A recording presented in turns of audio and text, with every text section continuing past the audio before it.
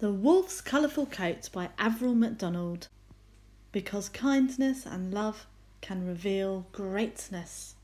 Deep in the forest, the fairies were told that winter was coming and bringing the cold.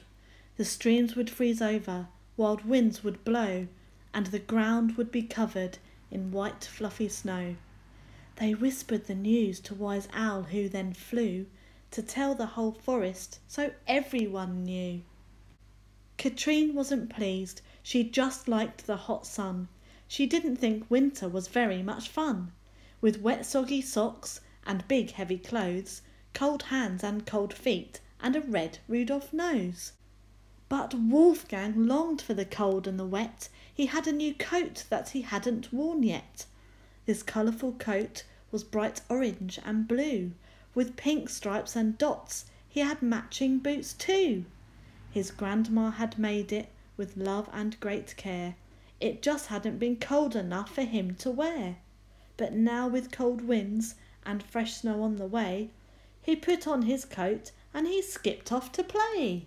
As he happily whistled his favourite song, a dog, two raccoons, and a rat came along. Something about them made Wolfgang feel bad. The raccoon seemed okay, but the dog looked quite mad. And the rat, well, he simply looked rather mean, but his nose was quite cute, like a pink jelly bean. The dog growled at Wolfgang. You look like a clown. That's a girl's coat you're wearing. He pushed Wolfgang down. And the rat threw a snowball that hit him in the eye. The raccoons laughed out loud as he tried not to cry. After they'd gone, brushing snow off his face, he crept back to the treehouse, his favourite place. And he didn't come out, he just stayed safe inside. The treehouse was always a good place to hide. Wolfgang was much too afraid to go out, just in case the mad dog and the rat were about. But the treehouse got boring, and after a while, Spider crept down she missed Wolfgang's smile. Oh, Wolfgang, said Spider, don't hide on your own. I know what they said made you feel you're alone. But your coat is not why they were being unkind. They would have upset anyone they could find. Some of us who have been hurt by someone might think that to hurt is the way things are done. And some are unkind and make others feel bad when they simply don't know what it's like to feel sad. What they need is more love, so the best thing to do is be kind, brave, and strong. Most of all, just be you. Tell someone you trust that you're feeling this way, like Wise Owl, who's clever and knows what to say. Your friends are down there. You've been missed, can't you tell? Look, they're all wearing colourful coats as well. Wolfgang looked down from the window to see his friends making snow angels under the tree. He told Wise Owl that he still felt quite scared, though not so much now that his problem was shared. I'll make sure you're safe, said Wise Owl. Go and play. If those creatures come back, I'll just send them away. So he put on his coat and he ran to the door. Wolfgang was not going to hide any more. Days and weeks passed they had wonderful fun, building grand snowmen in crisp winter sun. Then one day they happened to play hide and seek, which, whatever the weather, they played twice a week. As Wolfgang was hiding, he heard a strange sound, ice cracking and splashing and crashing around. He followed the noise down through the deep wood.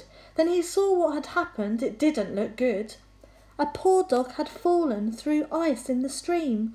Someone please help me, he heard the dog scream. Without thinking, he picked up a great big long stick. I'll help you, cried Wolfgang. Grab onto this quick. And he tugged and he pulled, using all his might. Then he saw the dog's face, and he got a big fright. For the dog in the stream was the very same one who had hurt Wolfgang's feelings and stolen his fun. Now the one that he feared was the one he must save. He felt scared but would do it. That's called being brave. He pulled the dog out. They both fell on the ground.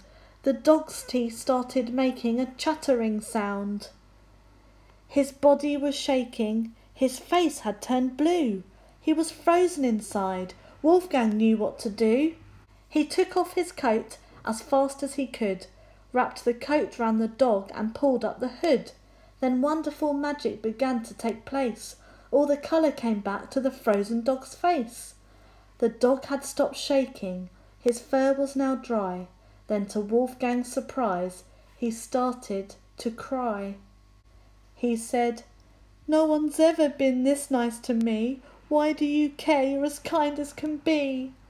And deep in his eyes, Wolfgang saw it was true. When the dog said, I'm sorry, I know I hurt you. Wolfgang was no longer feeling afraid. He felt happy instead with the friend that he made. The warmth from the love in their hearts made them glow. Something magic had happened that day in the snow. A mean dog became kind, and a wolf understood. If you're brave and you care, you might find something good.